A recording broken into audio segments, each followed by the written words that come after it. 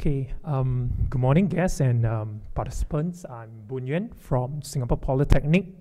Um, our campus is situated on the western side of Singapore for those who are visit, um, visiting Singapore for the first time. I'm currently teaching in the School of Digital Media and IT. I'm a programmer myself. Actually, my background, I'm, I'm trained as a mechanical engineer and I switched halfway when I did my master's. So yeah, doing designing and developing games for a while. So today, um, today's topic will be on interactive digital games for medical rehab. And um, I'm quite happy to meet some healthcare professionals here, so which is quite a good mix. Initially, I was still thinking that it would be all game designers. Yep. Okay, this is the rough outline. Um, what is, um, I'll just do a brief introduction on what is rehabilitation. And um, just a brief one, okay, I'm not a trained therapist, so yeah and how have games, how the games been used for rehab till now, and uh, what are the lessons we can learn from um, all the games that have been developed and designed. Okay, um, just a quick 101 rehab. Okay, this one, this definition was taken from World Health Organization. So, what is rehabilitation? Uh, it is basically a process, a process. So, mainly to aim at um, enabling people with disability. So the person that you're dealing with is people with disability to reach and maintain functional levels. So those are the list of the functional levels that we're talking about. And mainly to summarize it, to attain independence and self-determination. Okay, when you talk about disability, so there's also another thing to watch out for. Um, basically, from WHO, yeah, you can see from the details there, about 15 out of 100 people have disability. And this disability covers three terms basically impairment, activity limitation, participation restriction. Now, what does what do the, all these things terms mean? Okay, the first thing impairment refers to bodily function. For example, let's say if a lady has arthritis and it affects her joint, her wrist joint, that she or even her fingers that she cannot hold things. So that's an impairment. She cannot flex her fingers. Okay, so the next part goes to activity limitation, which if the lady, because of arthritis, cannot hold a toothbrush and brush her teeth. So that limits her activity. And the last part, which is on participation restriction, which means that, for example, because of your disability, you can't take the bus to go to a community center. So that is a participation restriction. Yeah, so that's on disability. The reason why I'm going through that is to understand who, um, what this the games are designed for uh, what kind of people and what kind of user. Now, um, previous presentation mentioned about the global issues about aging. Um, at the start of the conference, uh, we there is a, there's a serious game app that all of us downloaded and installed, and we played and we presented challenge about it. Yeah, in the same way, our body is installed with a serious game app from the since the day we are born, and it's called aging. Okay, so every year if you celebrate your birthday cake, okay, it will present you with a new challenge. Your body is not made to last. So that's one thing. Uh, I know it sounds kind of morbid on a Saturday morn- morning. Yeah, so that's one thing that's facing in Singapore. Okay, this is a recent speech by the Minister of State of Health, Dr. Amy Khor. Okay. Now, the when we design games for rehabilitation, the people that are involved um, are mainly healthcare professionals and take note, it's not just doctors. There's doctors, nurses, therapies, therapies including speech therapies, occupational therapies, physiotherapies.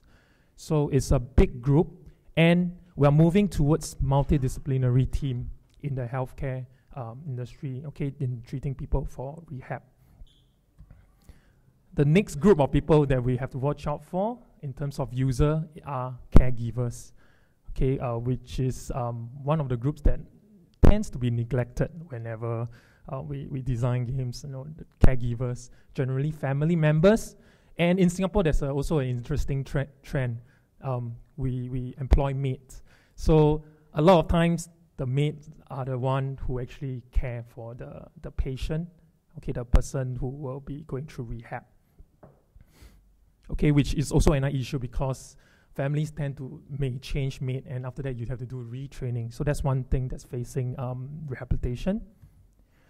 Okay, now, what what rehab actually involves, this is a simple process that's, uh, that's also in the WHO um, report, disability report. So mainly, um, just briefly going through, you have to identify the therapists or the doctors have to identify the problems.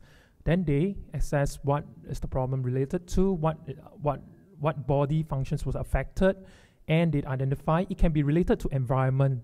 So sometimes maybe because the toilet at home uh, inhibits certain activity, you may have to change the environment.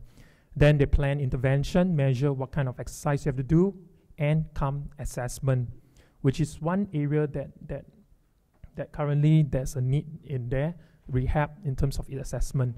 How effective are the assess uh, the intervention? How effective is the measurement?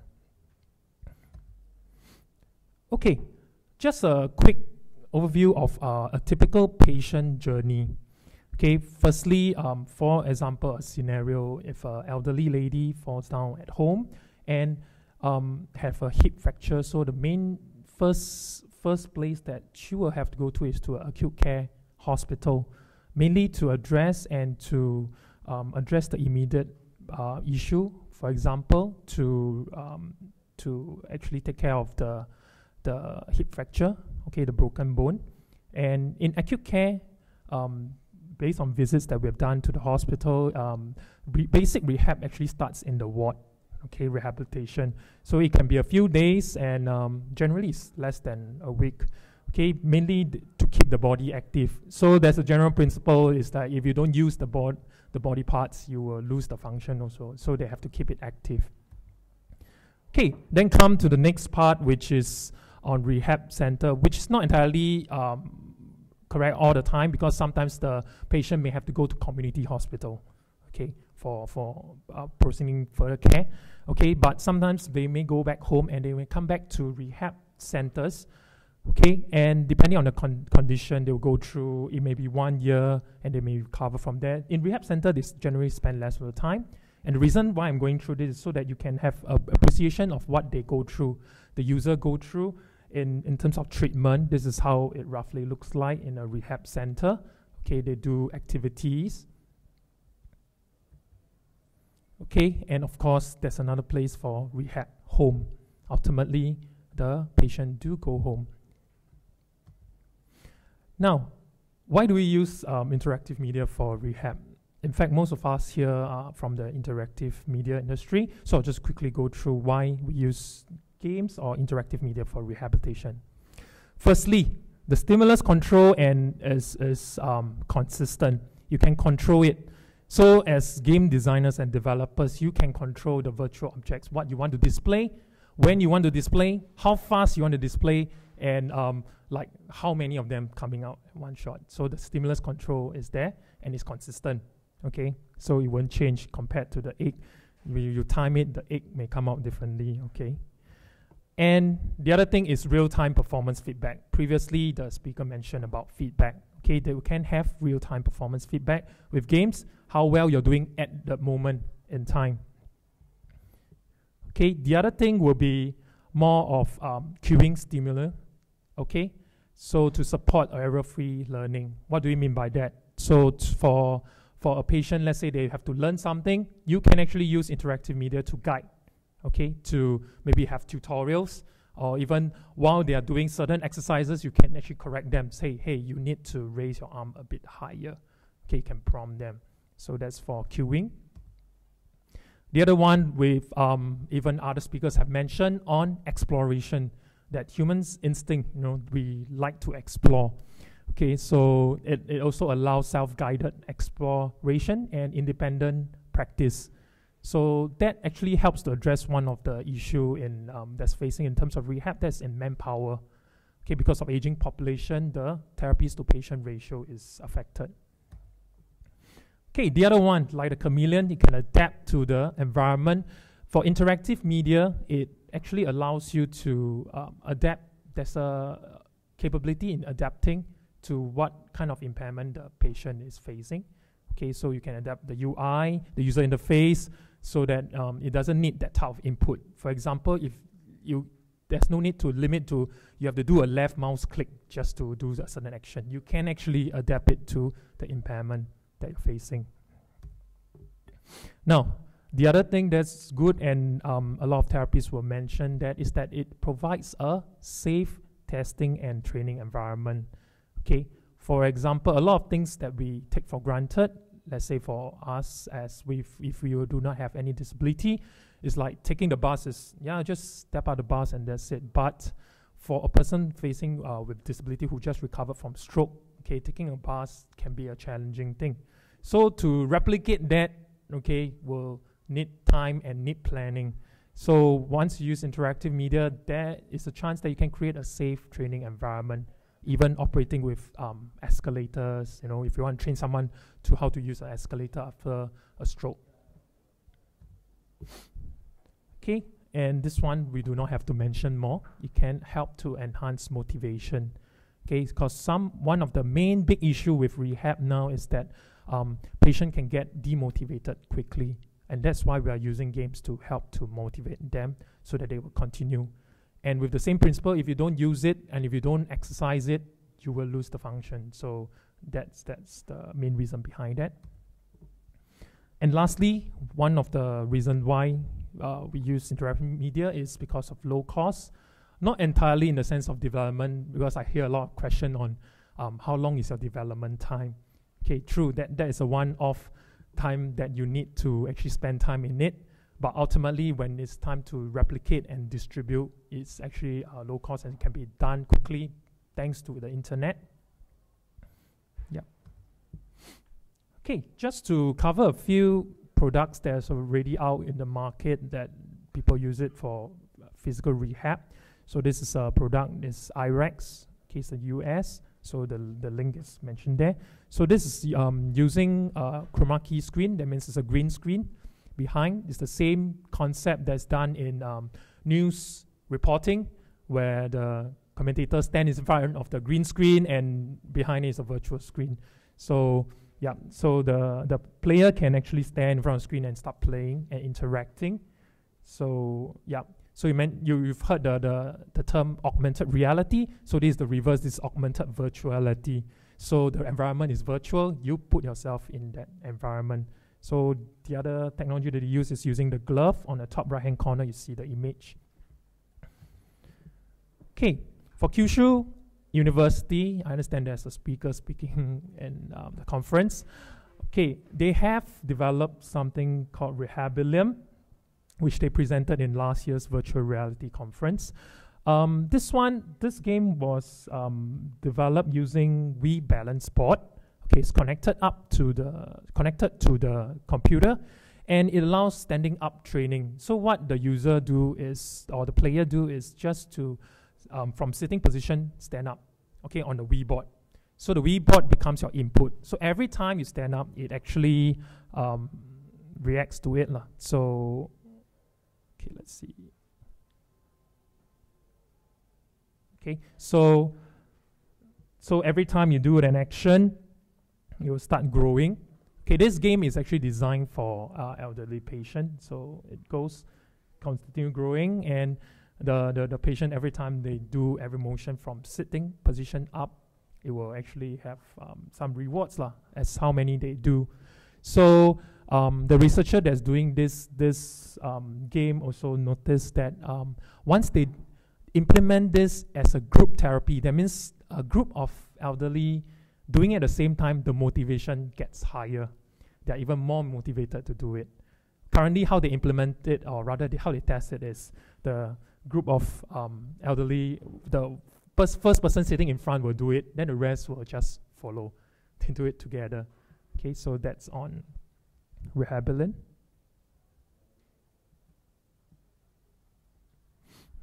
Okay, then um, I believe another speaker, Frankie, also did mention about um, US game being used in uh, medical or healthcare. He did mention something about um, Kinect, using the Kinect. So there's another association in Hong Kong, which is Association for Engineering and Medical Volunteer. They actually they did it out of charity, so they create um, free games basically to address cognitive rehab. Okay, so one thing to note, uh, rehab doesn't just cover motor rehab. There's also the cognitive side, okay, which is to deal with memory, visual discrimination, um, visual perception, stuff like that. So they created a few games, just putting it online. By the way, this is just delivered online flash games and just allowing the, the elderly to react to it. And you know that it will is actually catered for elderly because you notice that the virtual objects are generally big. Okay, so that to allow them to interact easily. So it's quite similar to you know, on the first day one presenter mentioned about Lumosity. Okay, um, this this uh, online app. Okay, um, well this is a bit dark. Okay, um, there's so another paper which um, brought up in 2009. Um, this researcher did this on um, investigating this optimizing engagement for stroke rehab using serious game. So um, what they did was to use PC webcam and to um, okay that one is not playing very well. And to actually detect the the user actually wear uh, a pair of gloves and one is green one's red.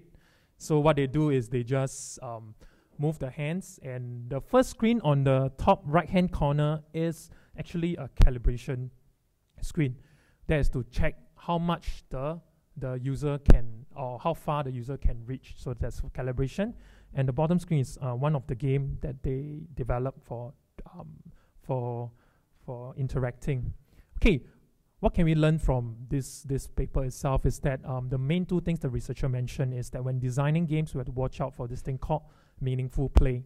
Meaning you have to actually give feedback to the user and the scoring and handling of failure that you have to be very sensitive with. And the other thing is the player must be able to relate the relationship must be able to find or realize the relationship between their action and the system outcome. If they cannot relate to it, then um, the, the motivation will drop. Okay, then the other thing is uh, having different difficulty level and allowing the difficulty to change, adapt with time. Now, then there's another paper which is on using just uh, Wii Remote and a webcam uh, on a ColorSoft to do it. Okay, so how what what are the main things that uh, we learn from here is that the main thing is to make sure the game is playable for a broad range of uh, stroke patient. One thing you may think that okay, we just developed one game for stroke patient, that's it, done. Is is not as easy as that. Every stroke patient have their individual um, issues or impairment, which is very different. Which is actually an issue, or rather, uh, some a challenge for all game designer. Okay, it's not just a one size fits all solution. It doesn't work that way. So the main thing is um, the researcher mentioned that you have to actually use simple games, but allows multiple methods of input. And the other thing is you have to include a calibration, as I've uh, shown you in the previous example. You have to calibrate, allow the patient to calibrate to see what's their extreme motion. And the other thing to watch out for is to have direct natural mappings. For example, one thing they notice, if you notice the top game, which is just using a Wii remote attached to the arm and just moving up and down. Okay, now if you do an unnatural mapping is when you move up and down, the helicopter move left and right. So that's unnatural, okay, which the patient will get very disoriented. Uh, so the main thing, it has to be a natural mapping. So if it's moving up and down, make sure your virtual object moves up and down. So the other thing is um, you have to ensure that the games are valuable from a therapeutic perspective. Okay, so make sure the user motion cover their full range. So if the exercise requires them to exercise full range, then your game has to do that full range of motion. And you have to detect compensatory motion because sometimes before of the impairment, they may move other parts of their body just to achieve that motion. So you have to detect that. And the other thing to do is to allow coordinate motion. Because we know that every time when we do an action, it is not just a clenching or releasing of arms, or it's actually a coordinated movement. It's a moving of the upper limb, and your shoulder joint, elbow joint, everything. So it's coordinated. And also the last thing is to have the therapies determine the difficulty. So of course the last thing is to of course make the games fun and challenging. So the audio visuals and having automatic difficulty adjustment. Okay, the other thing that is interesting is that the researcher also did mention that um, non-player characters and storyline is are important in such games itself and and the other thing is on social connectedness. Now this is another um, group of researchers who have actually built on what was mentioned in the previous one. Okay, so they also use Wii Remote webcam and Wii Balance Board, what they did was they actually verified what is actually um, correct. They did calibration and they verified that it, it actually works with um, their testers or their users. Now, back in um, Singapore Poly, just now what I mentioned was more of um, the what people have done around the world. Okay, now in Singapore Poly, what we've done for the past few years, okay, uh, in fact, it's quite recent. We did is um, there's this one called Piano Hero, mainly to address this thing called mirror box therapy. Okay, this therapy, what it does is if let's say um, from stroke your right hand is impaired, you can't move, there's paralysis. You what you do is you put a mirror there in traditional therapy, and you try to move the one that is working. And from seeing the one through the mirror, it actually sends a, stimulus to your brain, and it actually will improve the other hand that's affected. So that's mirror box therapy. So we actually adapted further. We actually use a data glove, meaning you the, the user will wear a glove and uh, move a virtual. So you will see a virtual hand, and they will they will actually practice mirror therapy. Meaning, if let's say the this hand is the one that's working, they move this hand, they will see the virtual hand, the, the other side, the other hand that's moving. So it's basically adapting the replacing the mirror, but using uh, uh, another device to do it. Okay, so of course we we realize there are a lot of issues. One thing with the data glove is that it's very difficult to wear on someone who had a stroke. Yeah, it's very difficult. And the other thing is, um, I'm sure some of you will be thinking, data glove, that that is not cheap, by the way. So that's one thing that um, we we have to move on. So the other one, which is uh, we move on to the next part, which is on uh, immersive. One thing about the the previous project is that you can still see your hand. So we added in uh, a head-mounted display, which adds on to the problem because at the end you realize that if uh, has anyone tried head-mounted display before? Okay, it is not light; it is heavy. You try doing it for a patient, I tell you, it is is almost impossible. So it is humongous and it's quite clumsy. So that's those are the few things that we learn and find that okay, we have to move on to something cheaper and easier to adopt. So which is why in the next phase we actually tried a simple webcam on um, green screen to do the same technology. Now, then the other side, um, one of the projects that I was involved in is um, from National University Hospital. We collaborate with them. Is to use a simple uh, uh, Wii remote, basically to to allow the user to exercise their arm. Okay, so what the user do will be to do three simple action, which is to do downwards using the Wii remote, and then to um, to do another turning, basically using a barbecue game, okay, a satay game. Okay, we localize it to the local context and to slide. So three action to allow to try. The good thing about this is the therapist could bring this into the ward and straight try it because all you need is just a laptop and a, a, a Wii remote. But the bad thing also is that the Wii remote is, if you have played with Wii remote, connecting to the computer is quite troublesome. Seriously, you have to sync it, and sometimes it may not work. So it is very frustrating just setting it up. And you jolly well have a very good battery because once it runs right, you have to do this, the process again. So yeah. So some some observation we note is that um, generally the the patient are happy to play, but um, the therapist did mention that it will be good to target training for daily activities and to allow the therapists to change game over time. And the other thing is sometimes the Wii remote, okay, we were using the first um, generation, which, which is without the motion plus. So some actions, if the patient can't get it, they will be doing this, swinging to and fro, and it doesn't react on the screen. They'll get very frustrated very easily. So that's one thing in terms of input. So the therapist was a bit concerned. It's like um, they have to take care that the patient don't get injured because of this other movement. Okay, then the other game that we did um, was to use um, infrared motion capture cameras. Okay, similar to the ones that you use in um, video, um, creating of video films, um, motion tracking, like Lord of the Rings. Okay, at that time, by the way, Kinect was not out. Okay, if it's out, we will have used it.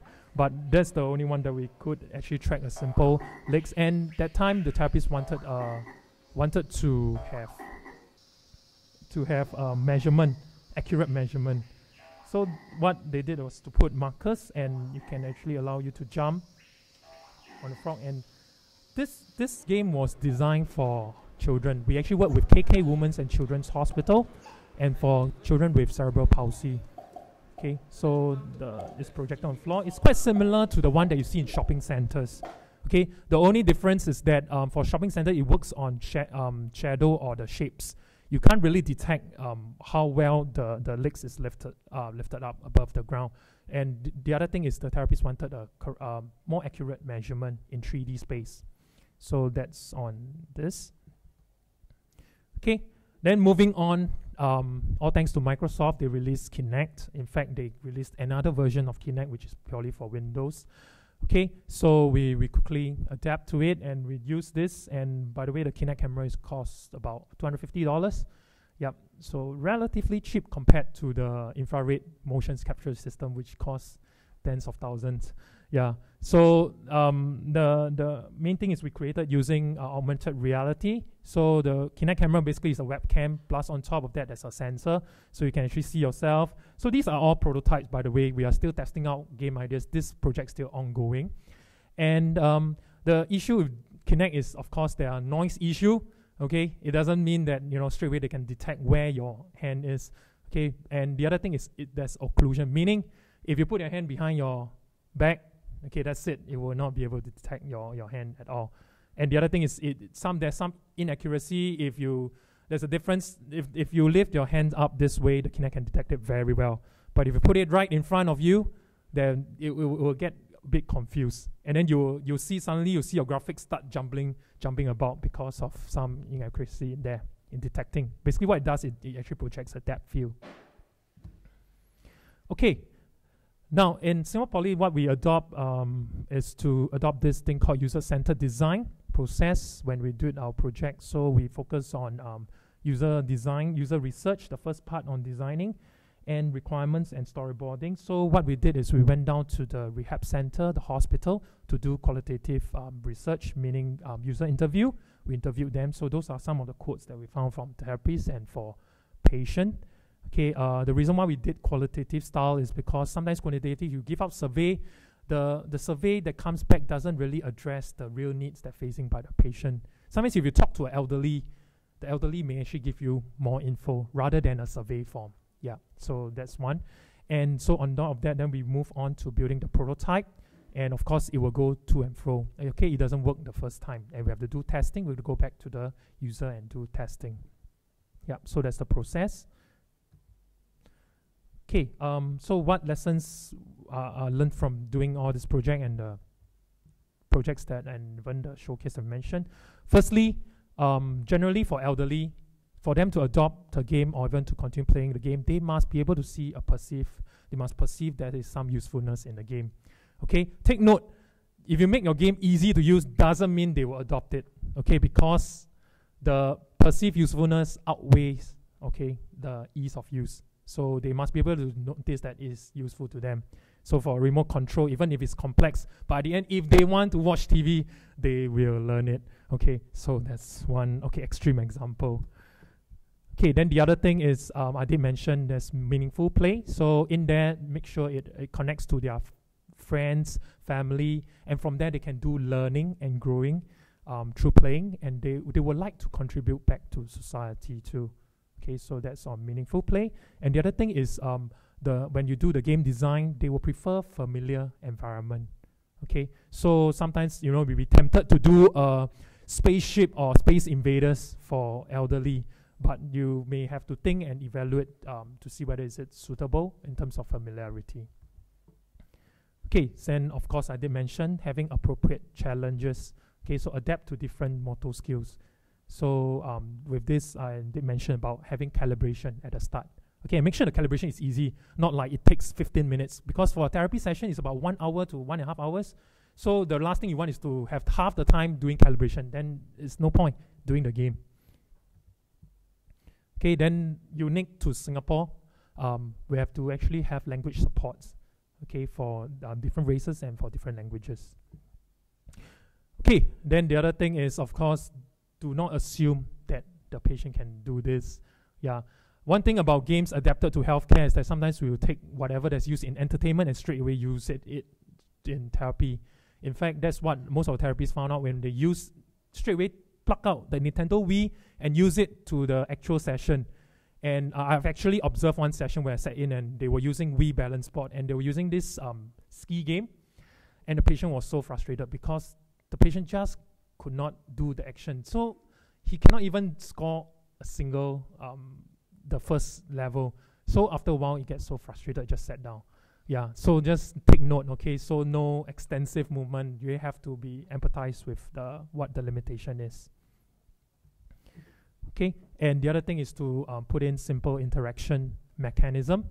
Okay, so focus on simplicity and intuitiveness. Okay, and the other thing is to keep the load on memory. So the last thing you want is they have to memorize that, oh, I have to press left, top, down just to do a certain action. So keep it simple. Because um, for generally for the patient with disability, some of them have cognitive issue. They even have pro um, problem processing some info. So the whole point is to keep the load down, memory load or cognitive processing. And the other thing I did mention is the mapping, okay, natural mapping. Okay, the other one is having constructive feedback. Okay, um, for the floor projection, we tested it on child have um, playing, and after finishing the game, as usual, you know, typical game design, we, we always use the typical words like game over, and he was so disappointed. It's like, what game over? I just finished the game. What do you mean by game over? So yeah, then uh, it was really an oversight when we designed it. So then we realized, okay, it shouldn't be game over. You know, it should be things like, you know, well done, you've done this, you know, I've done this and that. Even though the score was left there, but because of the word game over, he was like so devastated. The child was so devastated in that. Okay, so take note and the fear of failure. The last thing you want is to make them feel that, okay, I failed. And they do not want to even try again. So then that's it. You've lost it. Okay, so have a balance of challenge and risk. Okay, so that, that links to the next point, which is to allow the user to have some level of success, like what I mentioned on the previous one on the Wii game. Okay, allow them to actually experience so that the, they can actually know that, oh, I'm improving, rather than, you know, they get face to face to what their impairment is and they realize, oh, I can't do it, so they just give up. Okay, then this one I did mention, size does matter in terms of virtual object. Make sure uh, it's big enough so that they can see Okay, sometimes we take this for granted and we just design everything because of screen real estate. We decide to squeeze things into there, but take note, be sensitive to the user.